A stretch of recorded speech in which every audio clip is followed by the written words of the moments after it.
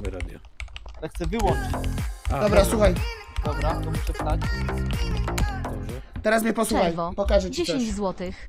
Trzymaj mordeczko Dziękuję uśmiechnięta bardzo. buźka G i G A C H Słuchaj A mnie T. rybko, posłuchaj mnie teraz rybko. Wiesz co to jest? To jest wiertarka. I za chwilę, mój drogi, nie będzie już tak kolorowo, jak przewiercimy ci kolana. Więc albo wyśpiewasz nam, kto z tobą był, kamery nie działają i światło jest gaszone, więc rybko, oszczędź nam i sobie zdrowia, bo powiemy, że potknąłeś się uciekając.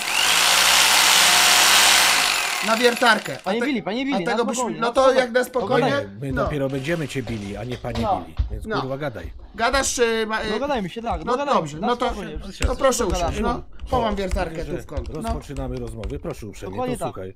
Jak ty Ja chcesz tylko- pogadać? Proszę bardzo, masz tu zdrabkę w nagrodę za to, że Dobra, grzeczny dobra. jesteś. Zdrab sobie i nawijaj makaron. Chwileczkę proszę mi dać. Chcesz, ci tak, zależy ci na pracy na mechaniku? Panie Billy, na spokojnie, oczywiście. Ale ja tak. jestem spokojny. Ty mnie chyba kurwa nie widziałeś, jak jestem niespokojny, więc nie mów mi 50 razy, że ma być kurwa spokojny, zrozumiałeś kurwa?